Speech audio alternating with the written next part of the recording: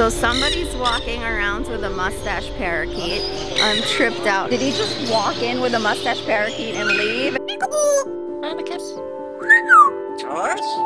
Hello my fellow sniffers and welcome to my channel, especially for you newbies. Today we're gonna do something very, very strange. When I went to Petco with all my pets, do not forget to watch the video, they told me that they're having a Halloween costume party for reptiles. Really? How does one dress up a reptile? Wait a minute. This might be interesting. Now, of course, if my chameleon doesn't want to go, my chameleon's not gonna go. By the way, I'm already very angry this morning because George promised me he was gonna make the costume, but no, I had to wake up and do it, and I am not one that sews. And this guy actually asked me this morning if I have a pattern for the costume. Like, a pattern. Oh, excuse me. A pattern? Okay, yeah, so now he's super gluing the eyes, and I want you guys to check out my handiwork. No hassle sewing, so don't judge. I had to do this really fast because we're late and I want to go to Bird Mart today. Not the one with my booth, I just want to go hang out, walk around, and look at birds. How's my costume coming? Is it good? Trying to find the eyes. Here's my costume. She's gonna wear it. This side, I needed to draw it. This is my sewing. It's kind of no hassle. I just did it real fast. Sometimes I forgot to, you know, I went around instead of through. what are you laughing at? It's a common problem with you. Whatever. So if George sewed this, it would have looked a lot different. If anything in the house happens that needs sewing, that's his job. Some crooked ass teeth, but it looks good. Whatever. Let's see if he's gonna wanna wear this. Go see if he'll wear it now. I, I gotta do this. Well, I'm gonna put it on the lizard? I don't think so. Our little sharky. You look cute. I think you made the mouth a little too big. Guys, change of plans. So the chameleon did not like the costume. The chameleon was fine in it for a second, but in good conscience, I just don't think I could have taken her all the way down to Petco in it. And then one option was kind of like bringing her and then putting the costume on later, but I'm not a believer in like torturing animals for my videos. I just don't think it would have been the best thing for the chameleon, honestly. But good news is we're at Bird Mart, a Bird Mart in Orange County. We're very late. Yeah. We almost didn't make it, but we're here, so let's go see. I'm gonna make him pay severely for this. Severely.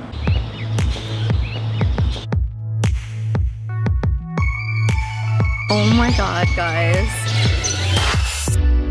Carolyn's here. She has no idea that I'm here. oh my god, George needs to come back already because I want to like scare her. So it costs $10 to get in and they only take cash. No, come here. Guess what? Come here, look. What? Carolyn's in there. She didn't see me. Really? She's here? But I waited for you to like go up oh, behind there her. Hold on, hold on. Hide, oh. hide. We have to come up behind her. She can't like see us first. Okay, well, we need a. Here. Oh no way! like what the hell? Who's filming here? And then I'm like, oh my god. Oh my god, that's so funny. There's like nothing going on in here. Seriously, right? I missed a uh, lizard costume party for this. Okay, well, I guess I'll go see what's entertaining in here. Let's make sure nobody has Picasso. One thing. Right? Hi. I'm such a fan. Oh my god! What's your name? Goodyear? Goodyear? Nice to meet you. Yay! Are you a sniffer? yes. Do you have I a bird? Have a lorikeet. Lorikeets are insane. They're fun though, they're fun. They're the, the most fun. Hi, beautiful. Are you beautiful? Look at you. So beautiful.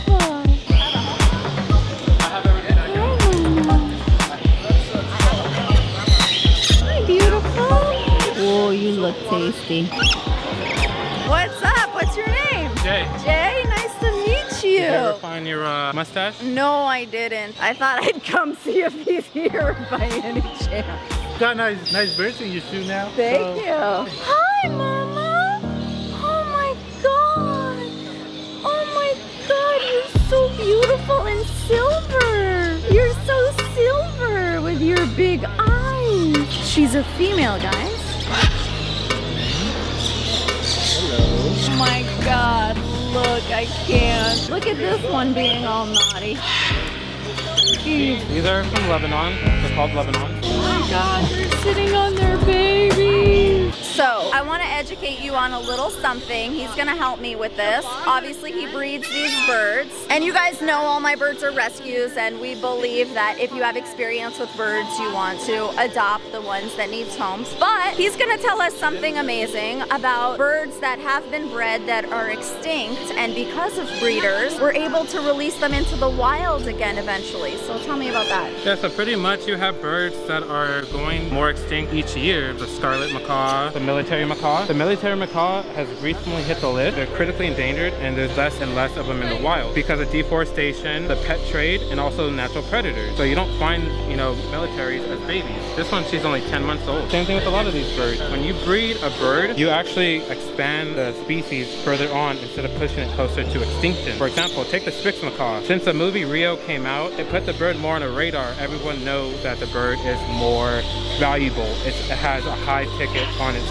So you have poachers taking the babies, killing them, you know, for feathers, trapping them, and illegal pet trading. There are facilities around the world that breed them that's focusing on, you know, preserving them. Once you breed them, then the species will survive as a whole. The Spix macaw, they're extinct in the wild. There was a hundred as of a few years ago. There's zero now in the wild. So it's not a bad thing to breed them. I do encourage rescue. There's a lot of birds that need homes. A lot of people give up on them because they're pluckers, they're chewers, they're screamers, they're aggressive. I think a lot of people don't understand the importance of the fact that there's people that are able to preserve the birds that are becoming extinct. We've been able to save a lot of them. Yeah, take the African gray. The African gray is the most sought after bird. Everybody wants it for their talking ability. As of now, they're getting harder and harder to produce. So that's when you get people start smuggling and poaching these animals out of the wild to try to get them in other countries. Wait a minute, you're saying, I never thought of this before. You're saying that if we don't breed them, that's when people import them illegally, and that's also what leads to deforestation.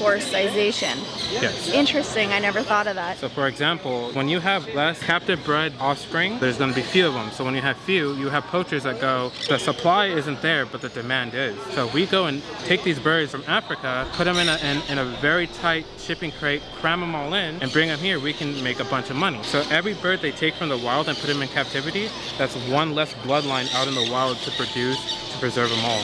I honestly never thought of it that way. But yeah, if there's an abundance of these birds here, then we're not gonna go to Africa and South America and import them. Not necessarily importing, because importing in the U.S. have been outlawed in 1992, but they're being smuggled, where they put them, they put cockatoos in two-liter bottles. I know, I know. They put hundreds of grays in small crates, and a good portion of those birds don't survive. So that's less birds for the world, you know, for future generations. It's better to Makes breed them sad. and preserve them. Look at all these guys. You know, these guys are all happy. They look great. Your birds look great. Hi. Yeah. And they're loving. You got a lot of loving birds. They're obviously getting a lot of attention. Oh no, look at trouble. I know trouble when I see trouble. Will you come to me? Yeah, of course. You don't like my camera? I trick you. I trick you. Look, ah!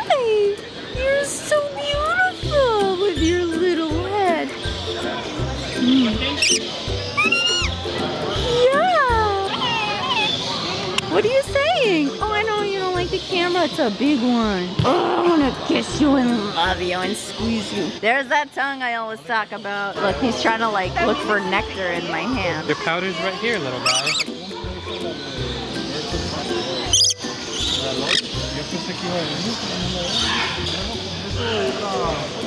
Look at you. So somebody's walking around with a mustache parakeet. I'm tripped out. I'm sure it's not Picasso, but I want to see. George went up to him. Let me ask him. What did you say? I don't want to go over there and be a creeper, but I still want to meet him. I just asked him what's, oh, he's a pretty bird, what, what's his name? And he said Charlie. But I can tell, like, his chest is like, It's not Picasso. no, it's a different chest. But I still want to see it. He's cute. The guy nice? He didn't really respond. Like, as soon as I was talking to him, he, like, turned around and walked around the other direction. Oh my god, somebody has a mustache parakeet on their shoulder. It's not Picasso, right? It's not Picasso, George says, but like I want to go see it and meet it. Oh. Let's go. Oh, look at the fluffy toucan. George was like, yeah, it's not Picasso. Not that I'm gonna accuse anyone of a mustache parakeet, but why is this guy not here anymore? Did he just walk in with a mustache parakeet and leave? And it's like, I would have loved to have met one and cuddled one. We might run into him. It's so small here. It's small because they're competing with another day in Arizona. Oh my god! These are like cockatoo pigeons. Oh they're so cute. There's some really cute birds here, guys. I don't see them. Guys, look at this. Wow. Look at those feathers. I can't believe I never found the mustache parakeet guy up close. The guy at that booth over there, he knew me and he was like, I'm sorry about your mustache parakeet. And he's like, I've been looking. Everyone's been looking. That guy with the cute eyes. Right here? yeah. Yeah. Yeah. Okay guys, all the promoters here don't want to be on camera, but you gotta come out to this bird mart. It's small, but if you guys keep coming out, it'll grow. And we can promote responsible parrot companionship. Oh my God, look at all these amazing toys. That's a good toy. Oh my God. How long did this take you to make? A little while. That's probably the one and only time you made that, right? No, I made quite a few. How would it be worth the effort? Like this for the price? Like that would be so many hours of work. This is nice. Oh my god, amazing It's all just little puzzles. Amazing together. toys. Right? Guys, her last name is really Bird. And she made all, this is like, have you guys ever seen the episode of, um, what do you call it, Emergency Care, where they actually say that people's last names detect the emergency they're gonna have? Like, yeah, like people have had all sorts of emergencies, like pole man, and they got like a pole stuck through them. That was a bad example, but like spear, and they got a spear, spears, stuff like that, yeah. This is amazing. This, guys, is Beak Busters. Beak Busters. Do you guys go to the Pomona Bird Mart? Yay, they're gonna be at Pomona. I'm gonna have a booth there too. A big YouTuber booth. Yay, Pomona! So yes, at Pomona Bird Mart, I'm gonna open the silver play button. Yay! Oh my god, this is gonna be so exciting. Did you fall in love with any birds? I did. she's over there. Show me. Hi. Hi. He's in love with me. You're such a macaw person. Yeah. Hello. He chooses people. Hi. No. Damn, you're a macaw person. I'm like, I'm like an African gray person. What? Let's away. Like what bird? Like, is he up there? There's always flyaways at these things. Where? Oh. They're gonna get him down. He's In there. It's a conure? It's a conure. I don't know if that's a good idea, throwing No. that broom up there. I don't think so. All right, so they're trying to get this bird down and it's like disturbing me. I don't know. It's like get a ladder and get him down. Don't terrorize him more. That bird's not coming down, right? What would you do? I leave it until it gets That's what she wanted, the paparazzi to be on her all day. she makes one comment and we're like, tell us more. okay, they're gonna come back and get him tomorrow. If I didn't take him home first. what are you doing, George? Kissing all the birdies? Yeah. One of your friends looks like Jenna's boyfriend. I'm not No kidding. way. Nah. You'll see, you'll see. Carolyn just asked me if George finished the stand for Rocky, and he finished it, but he's still got to change out something. And she goes, see, trust your guy. And I'm like, it's not ready yet. We love you too. Bye. Guys, come to Pomona Bird Mart. Yay! gonna open her silver play button. Yes! And you will have red carpet and everything? Yeah, I have a little plastic red carpet. But I have a big backdrop with a step and repeat. You're all set. Yeah, I'm all set. She's a girl on fire and she's even a dreamer and a doer. I love Exactly. that. We're gonna have a cake. Gluten free?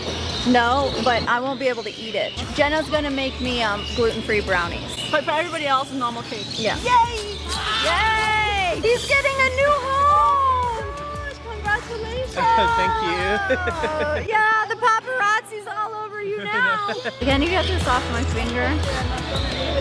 I fell for it. Come on, let's go. The five decker, it's fun to touch though. Oh, oh my god.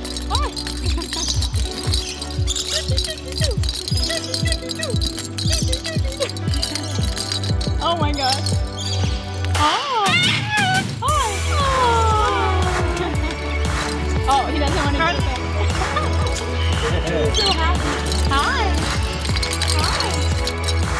Go fly back. Oh. this one's mad. This one's like, you want this toy? Then you get a toy too. So adorable. Oh my god, you need to do that.